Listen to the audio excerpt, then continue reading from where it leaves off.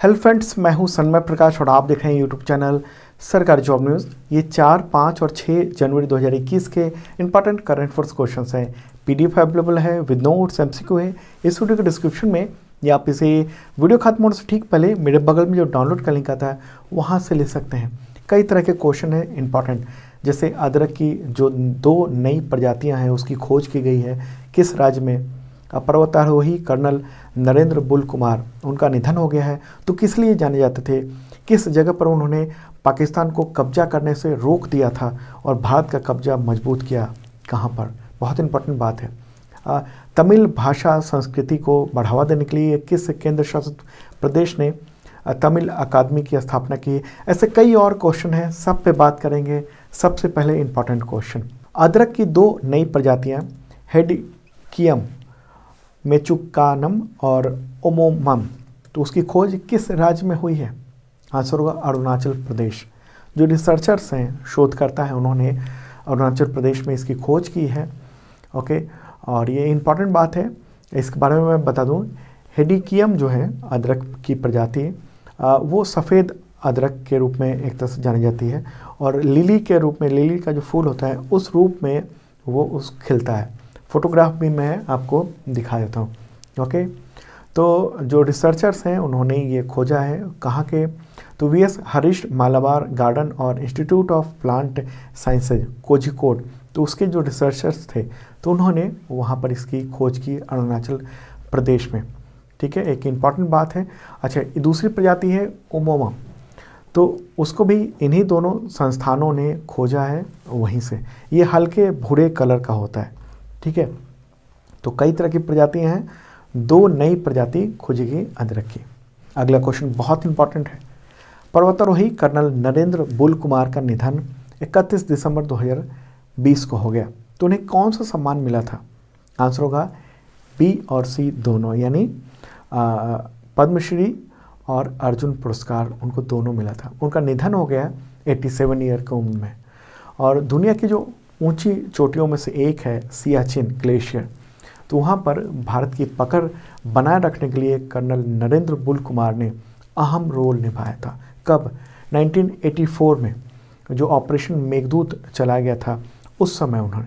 सियाचिन में पाकिस्तान की जो नापाक हरकतें थी, उसको रोकने के लिए एक तरह से भारतीय सेना के शेर के साथ साथ वो प्रसिद्ध पर्वतारोही थे। ओके? माउंटेनियर थे। उनके जो उनके जो साहसिक कार्य थे उसकी वजह से उनका जो बुल जो नाम है वो एक तरह से उपाधि नाम है उपाधि है। तो उनको बुल कहा जाने लगा। नरेंद्र बुल कुमार के नाम से वो प्रसिद्ध हुए। उनका जन्म हुआ था 1933 में रावलपिंडी में जो पाकिस्तान में है। आ, ओके? और 1953 में भारतीय सैन्य अकादमी देहरादून से कुमाऊँ रेजिमेंट में उन्होंने एंट्री की थी।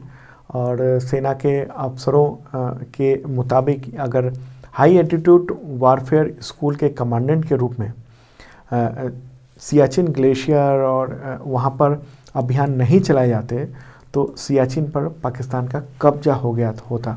ऐसा जो आर्मी ऑफिसर्स हैं, उनका ये कहना है। तो कर्नल नरेंद्र ने उसके बाद नंदा देवी चोटी पर भी तिरंगा फहराया था। ओके, माउंट एवरेस्ट पर भी वो चढ़ाई की थी उन्होंने। लेकिन काफ़ी अच्छा खासा नाम है सियाचिन ग्लेशियर पे भारत को कब्जा दिलाने में, ओके, उनके जो बहादुरी है, उसकी मिसालें दी जाती हैं, ओके, और उनके निधन पर सेना ने ट्वीट भी किया था, जो आपने देखा ही अभी। अगला क्वेश्चन लेते हैं, उससे पहले बता दूँ कि 2020 का जनवरी से दिसंबर तक का करंट फोर्स अवेलेबल हो गया है। अमेजन पर बेस्ट सेलर है। बेस्ट सेलर है मतलब बेहतरीन है, और 432 पेज की किताब है, काफ़ी मोटी है। एक एक टॉपिक को बढ़िया से समझाया गया है। एमसीक्यू है, पंद्रह सौ से ज़्यादा ही है ओके और हर एमसीक्यू के नीचे काफ़ी डिटेल में उस उसके बारे में समझाया गया। तो आप देख सकते हो, इस वीडियो के डिस्क्रिप्शन में लिंक है अमेजन पे बुक अवेलेबल है बेस्ट सेलर का खिताब भी मिल चुका है ओके तमाम जो एग्ज़ामिनेशन सरकारी हैं, जो भी जॉब के, उन सब में बेस्ट सेलर अभी चल रही है ओके और वैसे इसका पीडीएफ भी अवेलेबल है इस वीडियो के डिस्क्रिप्शन में। अगला क्वेश्चन लेते हैं।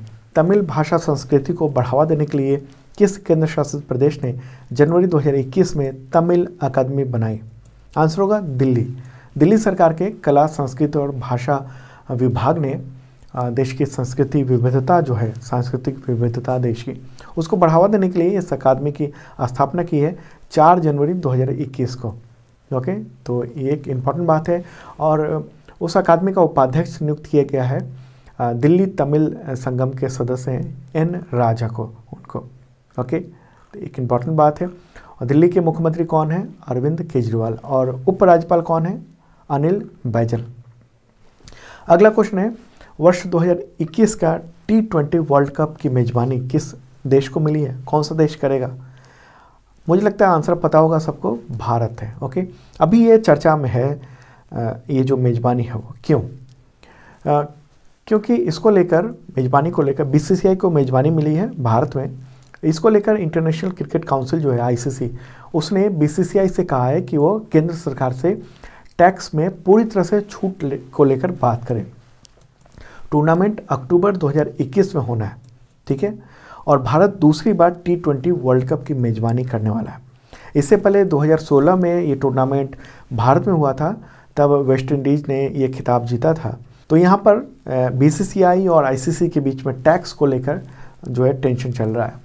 देखिए आईसीसी ने भारतीय एक जो क्रिकेट कंट्रोल बोर्ड है बीसीसीआई उसको कहा था कि केंद्र सरकार से बात करे और टैक्स छूट वो ले ले इकतीस दिसंबर से पहले ओके लेकिन फिर अभी तो वक्त भी बीत गया ओके दो मौके मिले थे, दोनों मौके एक तरह से बीसीसीआई ने गंवा दिए। तो अब बीसीसीआई बोर्ड का, के सूत्रों का यही कहना है, जो न्यूज़ मीडिया में जो न्यूज़ आई है, उसके मुताबिक कि आईसीसी ने बीसीसीआई को फरवरी तक का आखिरी मौका दिया है। और कहा है कि अगर बीसीसीआई ने टैक्स छूट नहीं पाया, सरकार से टैक्स छूट नहीं ले पाई तो मेज़बानी छीनी जा सकती है या फिर एक बड़ी रकम, यानी जो टोटल टैक्स जो बनेगा, वो देना पड़ सकता है बीसीसीआई को, आईसीसी से। ओके? बीसीसीआई को देना पड़ेगा आईसीसी को। ठीक है? एक इंपॉर्टेंट बात है। और आईसीसी ने विकल्प के तौर पर यूएई को चुन रखा है कि हम वहाँ भी करा सकते हैं जो टी ट्वेंटी वर्ल्ड कप है उसको। तो अभी बातचीत चल रही है बीसीसीआई की केंद्र सरकार से, वहाँ आवेदन दे रखा है, लेकिन वित्त मंत्रालय में ये लटका हुआ है। ठीक है, और ख़ास बात है कि क्यों छूट मिले टैक्स की? जब पूरा देश टैक्स देता है, ये मेरी पर्सनल राय है। जब पूरा देश के, पूरे देश के लोग टैक्स देते हैं तो क्रिकेटरों को क्यों छूट मिलनी चाहिए? और क्रिकेट के लिए क्यों छूट मिलनी चाहिए भाई? ये ये भी सवाल होता है ओके और ये भी बात है कि बीसीसीआई जो है वो खेल मंत्रालय की मान्यता प्राप्त तो स्पोर्ट्स ऑर्गेनाइजेशन है नहीं। वो इंडिपेंडेंट बॉडी है, अलग से बीसीसीआई प्राइवेट बॉडी है तो उसको क्यों मिले? एक तो उसको लेकर आईसीसी और बीसीसीआई के बीच में खींच तान चल रहा है। अच्छा 2016 में भी टकराव हुआ था ओके और उस वक्त आईसीसी ने कहा था कि उसको डेढ़ सौ से दो सौ तीस करोड़ रुपए का नुकसान हुआ था। तो इस बार वो नुकसान नहीं झेलने को तैयार है। बीसीसीआई को करीब 900 करोड़ रुपए देने होंगे जो टैक्स लाइबिलिटी बनेगा, जो टैक्स देना होगा गवर्नमेंट ऑफ़ इंडिया को। वो बीसीसीआई दे आईसीसी को। ऐसा आईसीसी का कहना है। ये टशन चल रहा है, इसलिए थोड़ा बताया मैंने। अगला क्वेश्चन लेते हैं। हिमाचल प्रदेश में बागवानी के लिए एशियाई विकास बैंक यानी एडीबी ने कितनी रकम के लोन को मंजूरी दी है? आंसर होगा दस million dollar, okay? Asian development bank ने हिमाचल प्रदेश में परियोजनाओं के लिए भारत सरकार के साथ सिग्नेचर किया है, समझौता किया है, और ये जो है किया गया उद्देश्य यही कि हिमाचल प्रदेश में बागवानी उत्पादन बढ़े, कृषि और वहाँ जो घरेलू आय है उसका विस्तार हो। अगला क्वेश्चन लेते हैं। अखिल भारतीय शतरंज महासंघ का अध्यक्ष किससे बनाया गया है? आंसर होगा डॉक्टर संजय कपूर। ओके? चार जनवरी को फेडरेशन की ऑनलाइन इलेक्शन हुआ उसका और उसमें डॉक्टर संजय चुने गए हैं। ओके? अगला क्वेश्चन। अंतर्राष्ट्रीय वित्तीय सेवा केंद्र प्राधिकरण जो भारत का है, वो किस संगठन का सहयोगी सदस्य बना है? किस अंतर्राष्ट्रीय संगठन का? आंसर होगा, अंतर्राष्ट्रीय प्रतिभूति संगठन। यानी international organisation of securities commissions okay तो उसका सदस्य बना है एक जनवरी को इंपॉर्टेंट बात है आई ओ एस सी ओ वो जो है दुनिया के जो प्रतिभूति नियामक हैं, उनका अंतर्राष्ट्रीय संगठन है ठीक है? तो इंपॉर्टेंट बात है फाइनेंशियल सर्विसेज़ में इसका महत्व होगा। अगला क्वेश्चन लेते हैं। बैडमिंटन वर्ल्ड फेडरेशन ने रूसी शटलर निकिता खाकी मोव रूसी शटलर निकिता खाकी मोव। उन पर कितने साल का प्रतिबंध लगा दिया? आंसर होगा पाँच साल, ओके? उन पर कई सारे आरोप थे जैसे सट्टेबाजी के, अनियमितता करने के तो इसलिए ये प्रतिबंध लगाया गया। अगला क्वेश्चन है, किस राज्य मंत्रिमंडल ने सरकारी स्कूलों में पढ़ रहे छात्रों को राज्य के इंजीनियरिंग और मेडिकल कॉलेज में प्रवेश में आरक्षण देने का फैसला किया?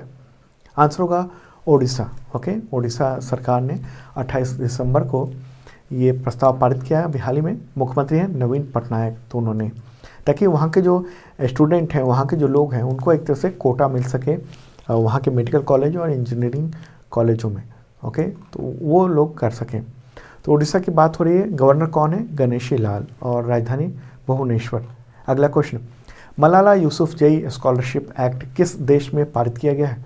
आंसर होगा अमेरिका ओके यूएसए वहाँ की संसद में एक जनवरी को ये एक्ट पारित किया गया है और उनके नाम से अब वहाँ पर स्कॉलरशिप दिया जाएगा, हायर एजुकेशन जो करना चाहते हैं उनके लिए। हाउस ऑफ़ रिप्रेजेंटेटिव के द्वारा पहले अधिनियम पारित किया गया था और अब अमेरिकी सीनेट ने एक जनवरी को पारित कर दिया है। तो इसकी चर्चा पूरी दुनिया में चल रही है। मलाला यूसुफ जई नोबल प्राइज़ विजेता। अगला क्वेश्चन लेते हैं, विश्व ब्रेल दिवस कब मनाया जाता है? वर्ल्ड ब्रेल डे आंसर होगा चार जनवरी, ठीक है? चार जनवरी को मनाया जाता है। दृष्टि बाधित और दृष्टिहीन जो लोग हैं, उनके अधिकारों के लिए एक तरह से मैसेज देने के लिए दिवस मनाया जाता है। और ब्रेल जो लिपि है, उसके भी विकास करने के लिए और उसको अलग अलग जगह पर यूज़ करने के लिए ये दिवस मनाया जाता है ताकि उसका यूज़ बढ़े। और ये दिन जो है ब्रेल जयंती के रूप में, लुई ब्रेल जो हैं, उनकी जयंती के रूप में ये है। ओके, ब्रेल क्या है? ब्रेल जो है वो हर अक्षर और संख्या का प्रतीक होता है, जिसको टच करके जो नेत्रहीन लोग हैं वो पढ़ पाते हैं, समझ पाते हैं। अगला क्वेश्चन प्रधानमंत्री नरेंद्र मोदी ने 4 जनवरी 2021 को वीडियो कॉन्फ्रेंसिंग के ज़रिए नेशनल मेट्रोलॉजी कॉन्क्लेव का उद्घाटन किया। तो इसका सब्जेक्ट क्या है? आंसर होगा, राष्ट्र के समावेशी विकास के लिए मेट्रोलॉजी ओके ये conclave council of scientific and industrial research national physical laboratory new Delhi के द्वारा ये किया गया था। ओके सेवेंटी फोर ईयर पूरे हो गए हैं तो उसी पर ये आयोजित किया गया। अगला क्वेश्चन भारत जो है वो वन्य जीवों के आवास के संरक्षण के लिए आई यू सी एन समर्थित किस समूह का सह अध्यक्ष बना है? International union for conservation of nature तो इससे समर्थित किस समूह का सह अध्यक्ष बना है? आंसर होगा इसका एशिया संरक्षित क्षेत्र ओके तीन साल के लिए भारत को सह अध्यक्षता दी गई है इसके थ्रू। अगला क्वेश्चन लेते हैं, किस राज्य की विधानसभा ने ease of doing business amendment bill 2020 पारित किया?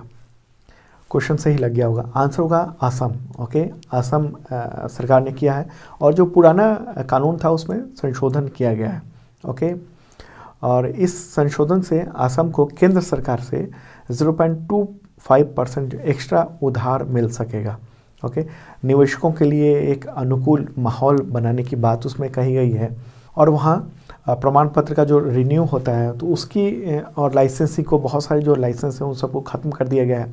और सीधे आइए और काम कीजिए, इस तरह की बात कही गई। तो बिज़नेस करने में आसानी करने का प्रावधान किया गया। तो बात हो रही है असम की, वहाँ के मुख्यमंत्री कौन है? सर्वानंद सोनेवाल। और गवर्नर कौन है? जगदीश मुखी। तो दोस्तों, ये था इंपॉर्टेंट करंट फोर्स कैसा लगा, ज़रूर बताना कमेंट बॉक्स में। और 2020 का जनवरी से दिसंबर तक का जो बुक है, वो अवेलेबल है। आप इस वीडियो के डिस्क्रिप्शन में चेक कर सकते हो। बेस्ट सेलर बनी हुई है अमेजन पे। हज़ारों लोग डेली ले रहे हैं ओके और हाँ अभी जो आपने देखा करेंट अफेयर्स उसका पीडीएफ फ्री में अवेलेबल हो गया मेरे बगल में। क्लिक कीजिए डाउनलोड कर लीजिए। वैसे इस वीडियो के डिस्क्रिप्शन में और भी पीडीएफ पड़े हुए हैं। वहाँ भी आप देख सकते हो, ले सकते हो। और हाँ जिन लोगों ने सब्सक्राइब नहीं किया, ज़रूर करना, साथ में बेल आइकन दबाना मत भूलना।